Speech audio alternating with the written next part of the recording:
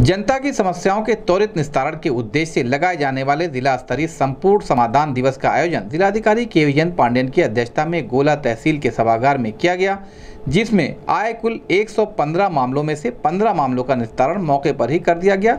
शेष मामलों को संबंधित अधिकारियों को सौंपते हुए जिलाधिकारी ने कहा कि निर्धारित समय सीमा के अंतर्गत निस्तारण सुनिश्चित करें।